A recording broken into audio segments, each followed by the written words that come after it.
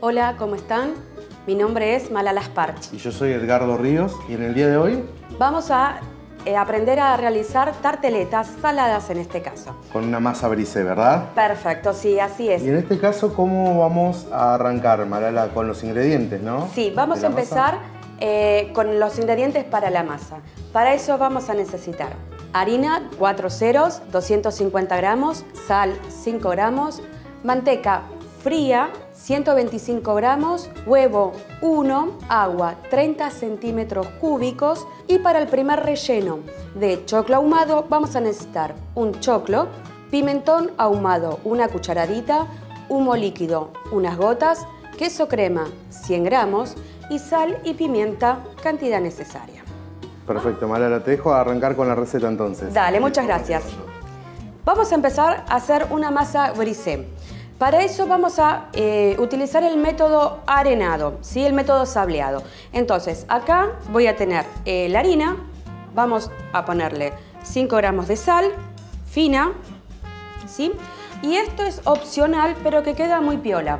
Vamos a usar pimentón, que aparte de saborizar, va a dar un tono diferente a la masa, ¿sí? Va a quedar más eh, de color rojo y que queda muy lindo, ¿sí?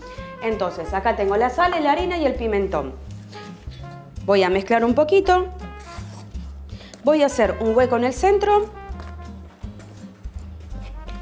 Y voy a poner la manteca. La manteca tiene que estar fría recién sacada del refrigerador.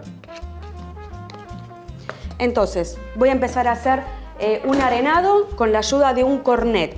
¿Por qué uso el, cornet? Lo que le explicamos a los chicos en, en el instituto, en las clases, es que con la ayuda del cornet lo que va a impedir es que nosotros toquemos eh, la masa y eh, que, la, que la manteca no, no tome temperatura. Entonces, vamos a ir trabajando ¿sí? Haciendo el famoso arenado, ¿sí? Entonces vamos a ir trabajando. Si no tienen el cornet en casa, pueden usar dos cuchillos. Lo importante es que traten de eh, no trabajarla eh, con las manos, así no se calienta. Entonces vamos a ir haciendo el, arenado. Traten de que quede eh, lo más fino posible el- arenado. Y después vamos a hidratar esta harina con huevo y agua fría. ¿Sí? ¿Por qué usamos agua fría? ¿Por qué? Porque la manteca está fría y si yo le agrego agua caliente o agua a temperatura ambiente, voy a empezar a, a- derretir un poco la manteca y, no quiero. ¿sí? Otra cualidad de esta masa es que es friable. ¿Qué significa friable? Que es crocante, que se desarma en la boca que es ideal para eh, la textura que nosotros estamos buscando en esta, en esta receta. ¿sí? Entonces, ven, ahí ya tengo el arenado. Voy a hacer un huequito en el centro. Y voy a poner un huevo. Siempre recuerden, el, el huevo, romperlo aparte. ¿Sí? Vamos a agregarle el agua fría, un chorrito y vamos a empezar a trabajar la masa.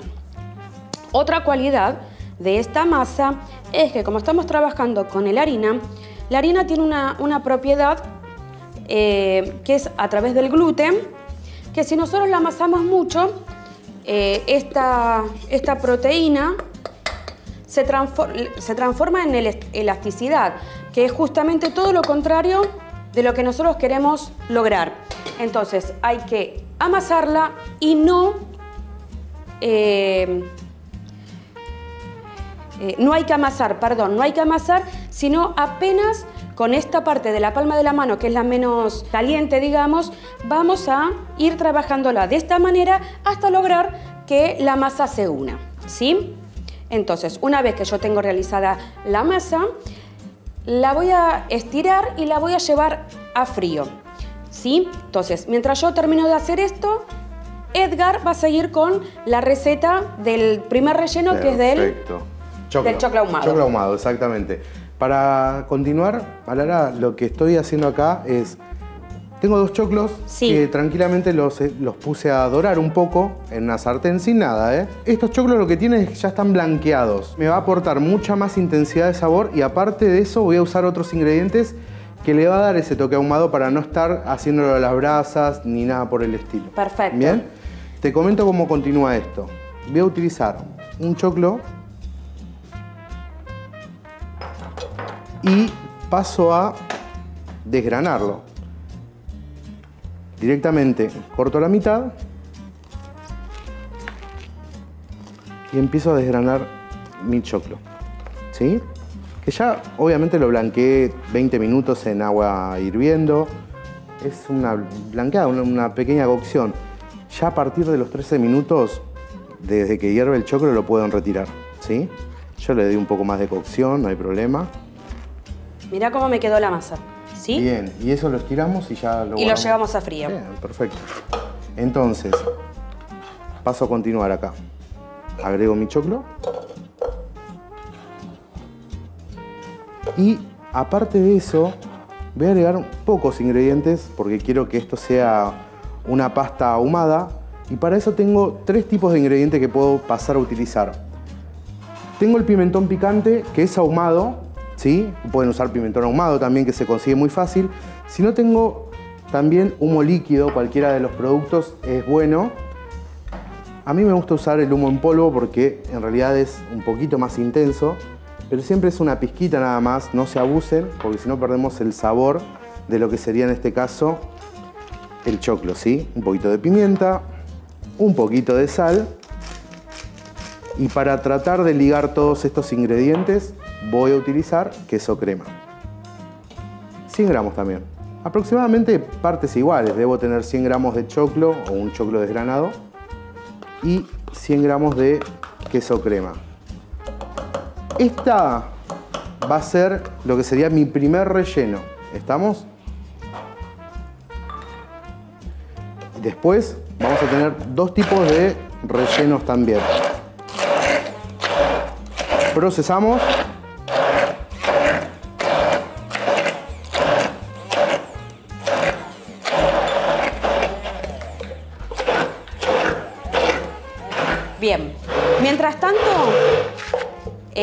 La masa ya está reposando en la heladera. Perfecto. Tengo mi primer relleno, Malala, para las tartas. Obviamente que los- las tres tartas que vamos a hacer tarteletas, eh, vamos a hacer en base a tu masa brisé. ¿sí? Exactamente. Ahora esperamos un ratito a que se enfríe la masa. Bien, buenísimo.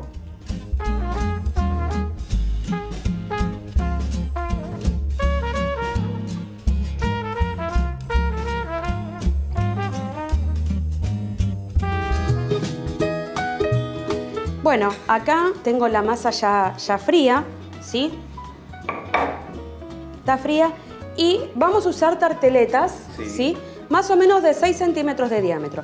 Y a mí se me ocurrió usar este tipo de tarteletas para cortar y que tenga una forma rizadita Claro. en el borde. Como tenemos acá ya terminado.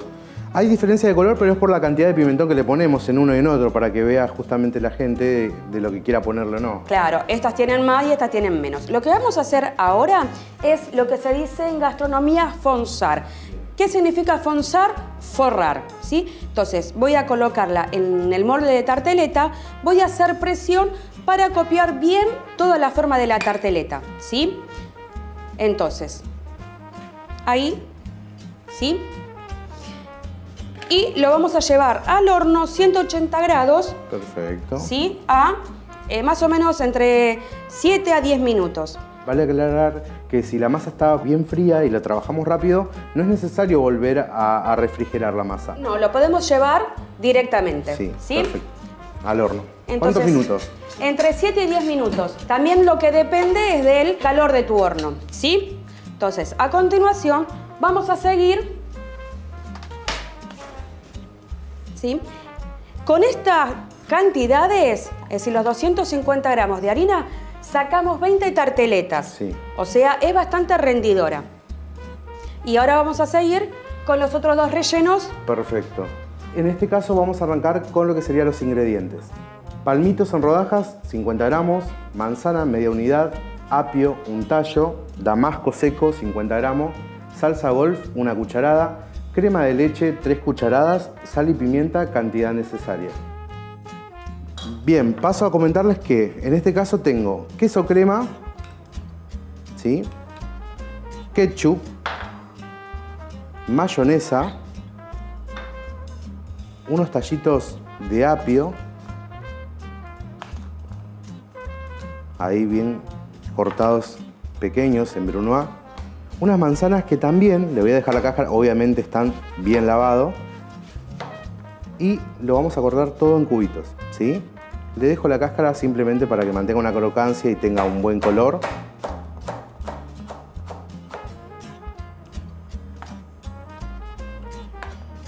Y además también vamos a agregar damascos secos, que no los voy a hidratar, los voy a dejar así, porque no son tan secos. Tienen una particularidad de que tienen un sabor bastante, eh, bastante intenso a lo que viene a ser el damasco en fruta. Palmitos, que esto sí, lo voy a cortar en rodaja porque después se desarman bastante. Y esta es como la protagonista de, de lo que sería el relleno, ¿sí? Ahí vamos, otro más. Y terminamos con damascos. Pueden agregar obviamente una pizca de sal, una pizquita porque ya tenemos varias cosas, eh, en este caso saladas, y un poquito de pimienta. Agarro unos orejones, le dicen de damasco, y también procedemos a cortarlos en cubos. ¿sí? Con esto finalizo mi segundo relleno que a la vez después para armar las tarteletas voy a terminar decorando con un poco de cada uno de ellos para darle mucho más color todavía. ¿sí? Acá Malara me alcanza justo. Acá te traigo un, claro, un bols para mezclar todos los ingredientes. Perfecto, así la gente ya puede ver cómo queda terminado y mezclado. Recuerden que pueden usar salsa golf si quieren, o en este caso podemos usar también mayonesa y ketchup, que me gusta mucho más. Claro, y con eso hacemos la salsa golf. El segundo relleno. ¿Está bien? Perfecto. Vamos con el tercero, ¿te parece? Bueno, dale. ¿Arrancamos? Yo me llevo esto, dejo esto por acá. Dale. Y te dejo a vos. ¿Bien? Perfecto. Bueno. Esta última propuesta ¿sí? Eh, es solamente unir ingredientes, ¿sí? Vamos a tener, como dijimos, mayonesa,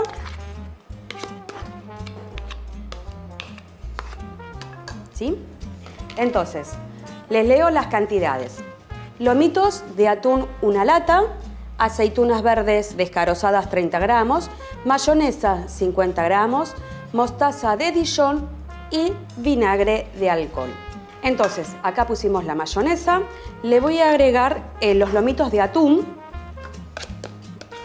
Traten de no usar el desmenuzado porque como lo tenemos que, mezclar, se va a volver a, se va a desgranar y va a quedar, no va a quedar bueno con, con esa textura que nosotros queremos.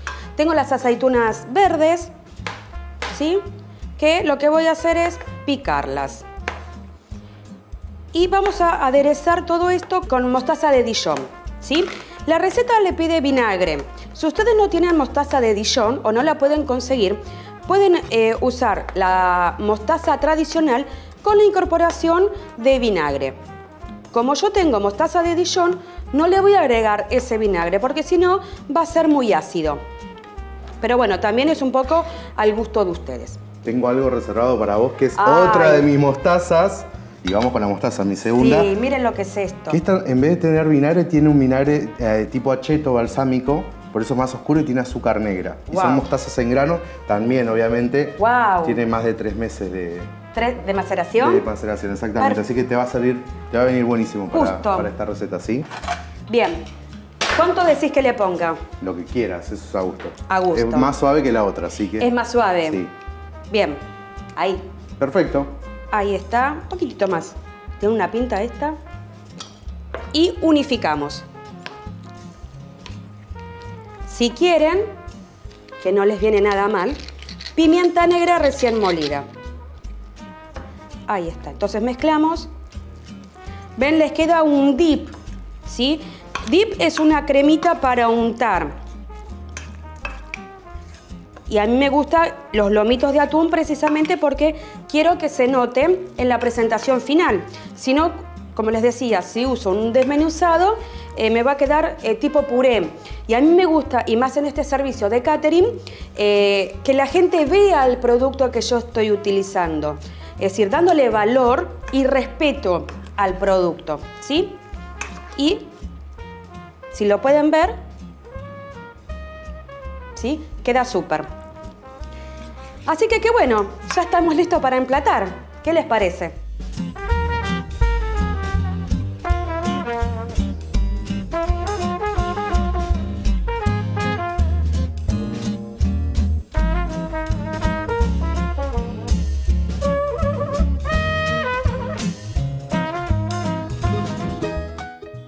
Bueno, vamos a empezar a rellenar, así damos finalizada esta, esta, esta edición. Perfecto. Entonces tenemos el primero que es de, atún, sí. queso crema. Bien, y la mostaza que hiciste vos, que está deliciosa. Después tenemos el que tenía bastante variedad, pero bueno, esa base de palmitos. Le habíamos puesto manzanas, apio, ¿sí? Y después tenemos el último que era el del choclo ahumado. ¿Estamos?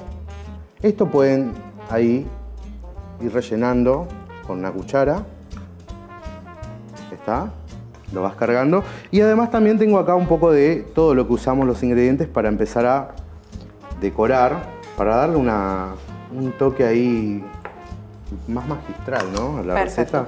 Sí, a mí lo que me gustaría que sepan que siempre tratemos de decorar con los productos que nosotros hayamos utilizado de base.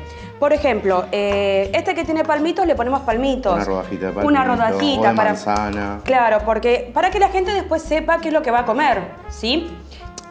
Igual le podemos agregar un toque más. Sí, acá predomina el palmito, entonces voy a poner una rodaja de palmito para que la, gente sepa, y aparte por el color, es un clásico palmito y salsa golf. Es un clásico. Reversionado esta vez. Perfecto. Ahí está. Después tenemos una rodajita de aceituna. Bien. Al de choclo podemos realzar un poquito con cibulet picado. ¿Sí? Recién picado. Siempre traten de picarlo a último momento. Bien. Este me gusta un poquito de color. Acá te dejo para que elijas. Gracias. Eh, un poquito de, mm, en este caso, de tomates eh, secos e hidratados nuevamente. Contanos el secreto de, para que te queden ricos los tomates, ¿en qué lo hidratas? Y los hongos también vi que los hidratas en eso. Sí, es verdad. Eh, ¿Sabes con qué me gusta hidratarlos a mí? Con té. Quedan espectaculares. Té como un saquito, pon una ollita un poquito de... Yo antes lo hidrataba en caldo. Sí. Y los empecé a usar de esa manera, me gustan bastante. Viste, queda muy bueno. Sí. Ponen los eh, agüita con dos saquitos de té, por ejemplo, para 100 gramos de, hongos, agua de ebullición y ponen los, eh, los tomatitos secos y dejan que se hidrate y ya está. Perfecto. Bueno, damos por finalizado entonces esta clase magistral. Ahí está. Quedaron espectaculares, así que... Muy lindos, muy lindos. Así que, bueno. Espero que les haya gustado y nos vemos en la próxima edición.